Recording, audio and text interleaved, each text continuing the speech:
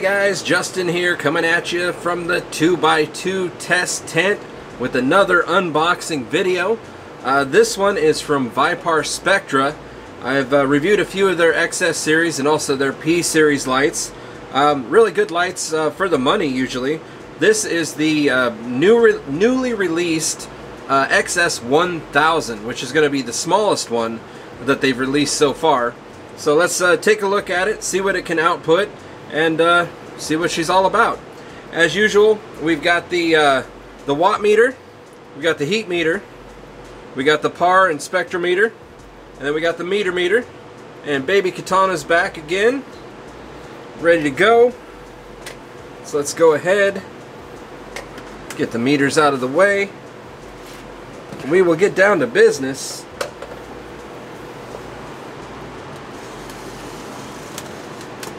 This one's sealed up really nicely.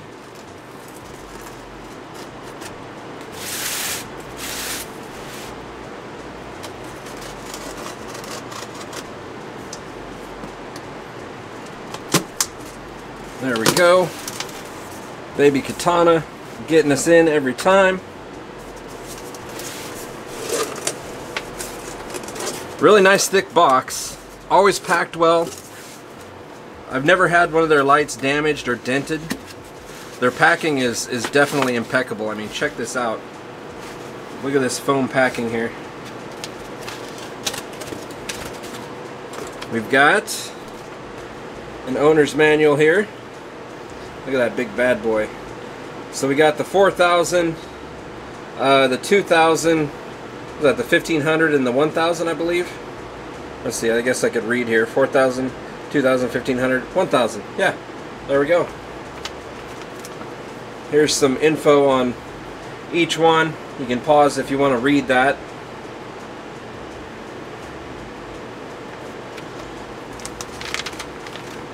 How's this fold out here? Alright, caution, safety information, XS series info, just tells how to plug it in, shows it's got a dimmer, how to hang it,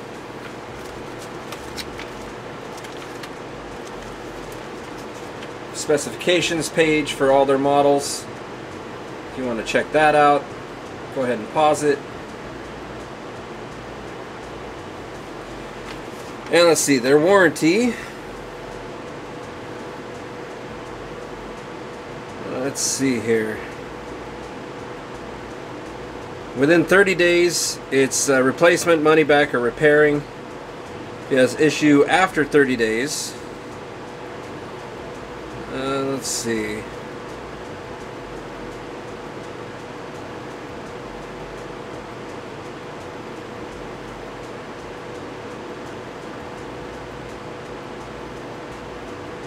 Wow.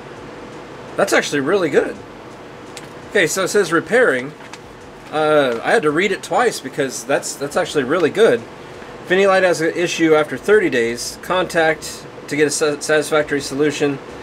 We can send the part free of charge immediately if it's a missing part or accessory. So if they're missing a power cable, they'll send that right away, of course. Um, you can also choose to return the light with the pre prepaid shipping label. We will send the light back to you after fixing it, all for free. That's really good. So they've got a three-year warranty, and they pay for everything, unless you're outside the U.S. It says if you're outside the U.S., you get three years warranty, but the back and forth shipping to your country will not be covered. Wow, that's that's actually a much better warranty than a lot of companies are giving right now. So, one up for uh, Viparspectra there. And they've got the usual happy, not happy. Depending on if you're on your happy or happy if you know it, clap your hands. Or if you're not happy, don't clap your hands. It's basically what it says. Wow, this looks like an HPS. This gave me flashbacks of like an HPS bulb. I'm like, wow, they got an HPS bulb in here? Interesting. This is something new that I haven't seen in their boxes before. It's like an accessory kit. Rope ratchets. Power cord. Yeah, fancy.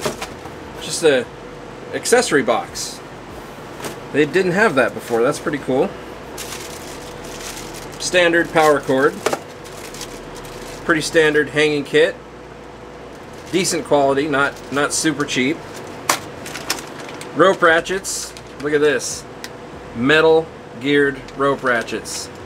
Way to go. Way to go. So far this light's getting just better and better as we go. And then here is the unit itself. Look at that. Vice, Viparspectra XS 1000. And you can see right down here Samsung LM301B diodes. LM301Bs. And you can see that coating, that water resistant coating to help protect the diodes. And then you got your Meanwell driver on the back. It's off the off the board. It's got a nice amount of space there for the airflow. Pretty damn good. I love this design, man. I'm really a big fan of the XS series. This beefy ass heatsink that's on it, this is way thicker than any, almost any, of the heat sinks of any of the, uh, I'd say mid, mid-range LEDs. It's a beefy, beefy light.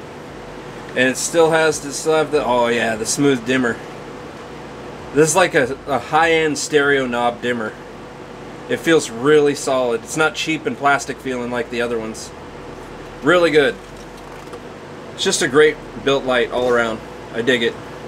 So let's go ahead and uh, get her hooked up, see what she can do and uh, we'll take it from there. Alright guys, we are back and we've got it all hooked up and ready to go. Got it all hooked up here to the uh, watt meter. Got the watt meter cam rolling. Other lights off.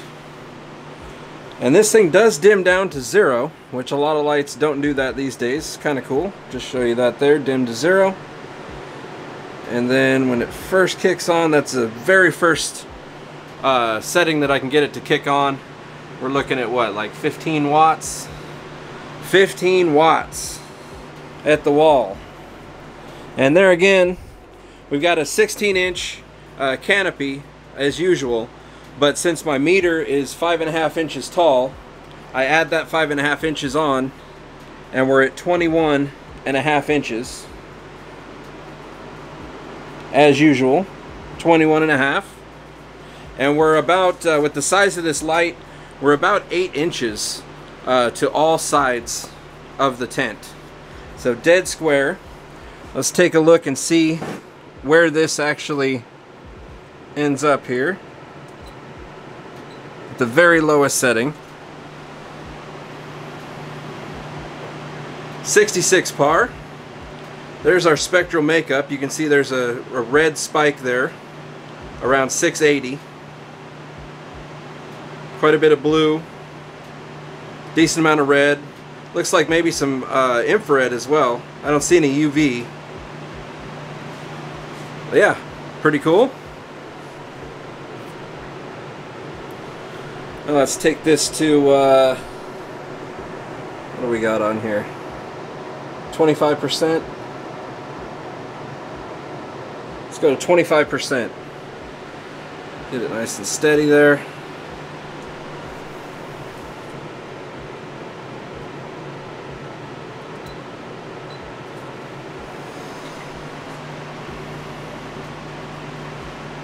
One fifty-eight point six. So that's going to be at 25%. That's going to basically be your cloning and seedling lighting level right there. 25%, 16 inches off the canopy. And that's what we're looking at. Now let's go ahead and bring it up again. Go to 50%. Go, 50%.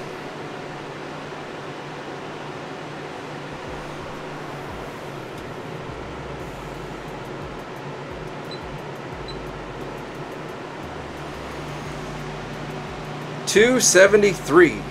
So you could that's basically like the start of veg, like 270 to 300. I would say is about the minimum I would I would recommend vegging with. Uh, so that's for like smaller plants to uh, just kind of like the teenage plants you could do around the 300 range and be just fine. Uh, but then when you get up to the, the, the, the taller ones, bigger plants, they tend to stretch quite a bit if you give them that low of a lighting level. So let's crank it up a little bit more. We'll go to uh, 75%. There we go.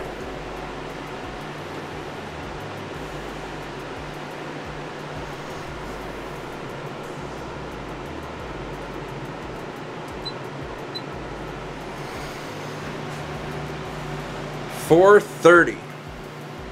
So that's definitely a little high, actually, uh, for veg, I would say. That's uh, a little bit higher than I'd like to run kind of stresses the plants out unless you really are on your feeding game it's definitely going to stress the plants out a little bit. And they're going to start to turn a little bit yellow start to eat some leaves. Unless you're on your feeding game then you're all good. Let's see if we can find a, a veg level here. So I'm going to take it like in between. We'll go right there. In between 50 and 75 we're going to see if that'll be a good veg level here.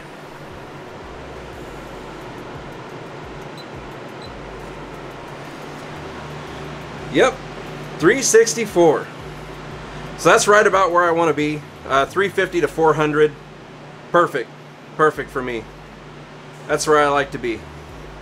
So 16 inches off the canopy, in between 50 and 75% power. You'd be uh, doing pretty good for veg. Let's take a look at the, uh, the side here. Of course, there's not a lot of reflection on this side because of the big black vent.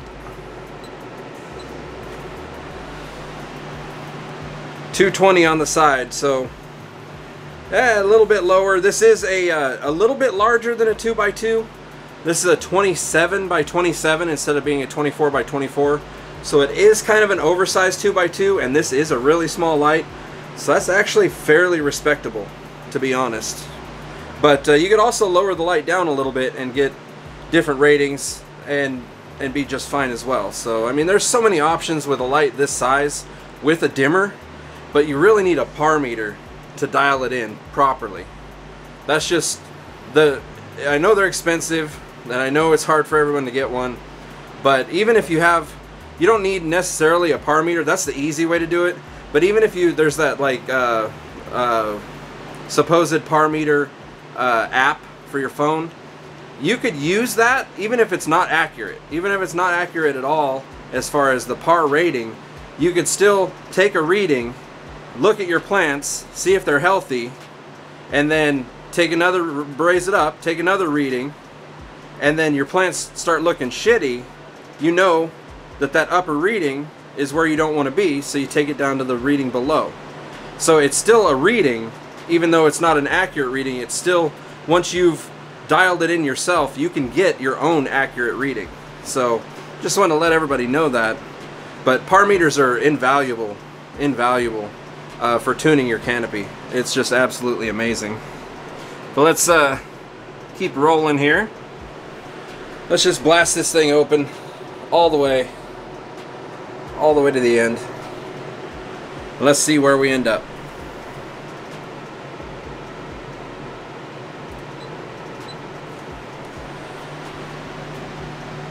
Five seventy eight. That's respectable. You could actually flower with that. 578. Anything above uh, 600 is what I recommend for flowering. 600 and above. 500 will work. Uh, it definitely won't be as, as fat and chunky but you'll get respectable, smokable, good quality nugs, regardless, uh, all the way down to about 450, I'd say. Um, anything in the 450 to 600 range, just it's decent nugs, but not the best. And then you get above 600, 600, 700, start getting some really nice fat chunky nugs, chunky lowers. You go up to 800, 900, up to 1,000. that's where you start really getting into the really fat, chunky uh, uppers, chunky lowers, chunky sides, chunky everything. Um, and then anything above a thousand, you're really going to want CO2 uh, to benefit from that, or you're just going to kind of stress out your plants for the most part. But yeah, that's pretty decent. Let's check the side here.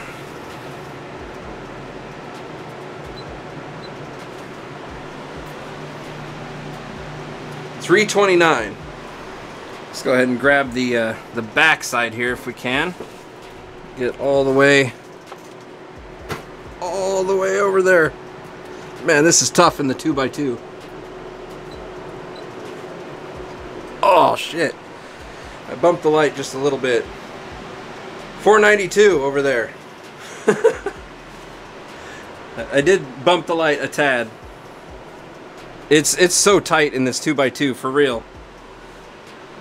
Like, yeah, this is not ideal. I definitely want to test in a 2x2, but uh, holy shit is it hard to test in a 2x2.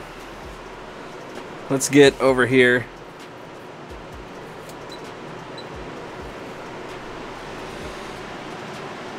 Three fifty eight. Corner's gonna be really bad. I already know. 291.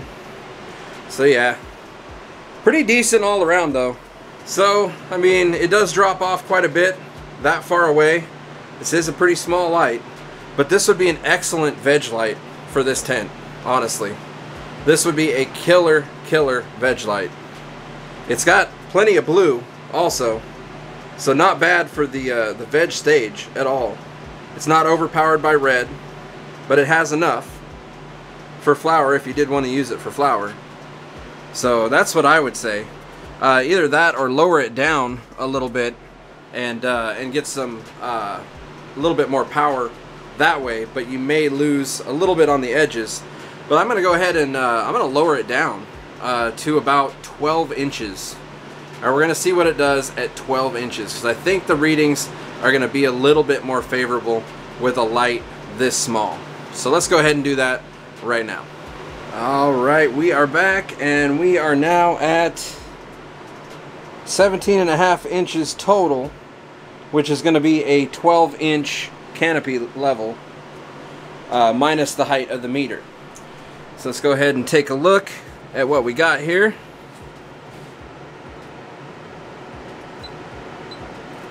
I think it's going to be a lot better. BAM! 863 Remember I was talking about Fat Cola territory? Well, there it is. There it is, ladies and gentlemen. And there's the spectral makeup. You've got 168 par of blue, 315 of red, 20 of uh, far red, and then almost one and about half of infrared and UV for a total of 863.639. so 863.6 basically oh touch it's gonna power down awesome awesome awesome let's check the side over here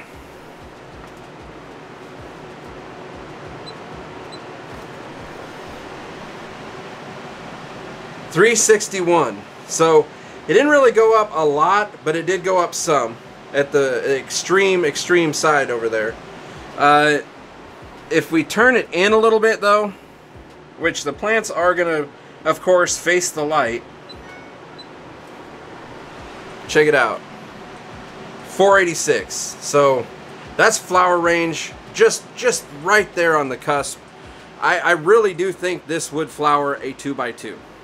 I think it'll veg a 2x2 perfectly fine. It'll flower a 2x2 perfectly fine. I think it's a really, really nice light. Uh, I really like the design. I like pretty much everything about it, really. I mean, it's got the Meanwell driver. Let's take a look at the bottom here. It's got the Samsung diodes. Check that out. The light just crushes it, man. It really does. It checks off all the boxes that you really would want except for maybe UV. And you can always add UV bars, you can always add red bars, you can do whatever you want. There's all kinds of things you can do. But this is a really nice, nice setup here that Viparspectra has put together. And it's got a good warranty. It's got a really good warranty on it. For real. So yeah, I uh, I like this one. I do. I like the whole XS series, honestly. I really, really dig it. So hell yeah. Let's uh, let this thing warm up though, uh, because uh, we got a little bit of a heat test left to do. And it looks like, let me retest this real quick. Thought I had 17 and a half. That's 17 and a half. It looks crooked. That's weird. Maybe the vent's crooked back there. Maybe the vent's crooked on the tent. I keep looking at this and I'm like, that's crooked back there. But then I measure 17 and a half. 17 and a half. Maybe it's like a just a slight hair off to one side. That's crazy though. It looks like it's further. But yeah, let's uh, go ahead and let it warm up and we'll uh, we'll see what kind of heat readings we get. Be right back. Alright guys, we are back and we've given this time to warm up. So let's take a look and see if there's any hot spots besides the driver of course. Looks to be fairly even distribution. The uh, white number is where I'm aiming.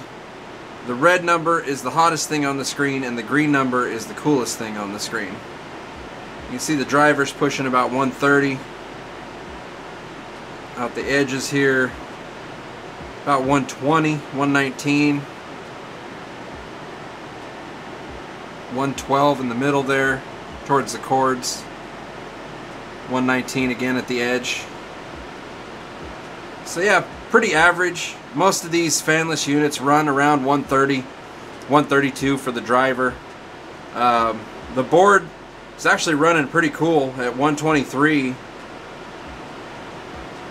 that's not bad at all in the 118 to 123 range. It's got quite a bit of metal on it, so I mean it's going to do pretty well overall. Yeah, no uh, no issues that I can see. Looks pretty good to me. That's uh, that's pretty much a wrap on this one. This is a, a really good series, man. This XS series that they've got going here. I really dig it. I will be testing the XS 4000 as well here pretty soon. So I'll, I'll, have tested all of them once I do that. I've already tested the 1500, the 2000, now the 1000. So all that's left is the 4000 and I've already got that in my hands. So it's just waiting in line to be tested and uh, it'll be here. It'll be here. That thing's going to be a beast. So uh, click the link below if you want to take a look at this light. Uh, I think it's a good light. Uh, if you're looking for something in a 2 by 2 by 2 uh, I think it would be a really good option for a lot of people out there. Decent quality parts. You got the Meanwell driver. You got the Samsung LM301B diodes. It's got a dimmer. It's got everything you would need. It's uh, it's even got a decent warranty. So yeah, pretty decent, man. Very good light overall. And uh, I hope you guys enjoyed the review. And until next time, happy growing.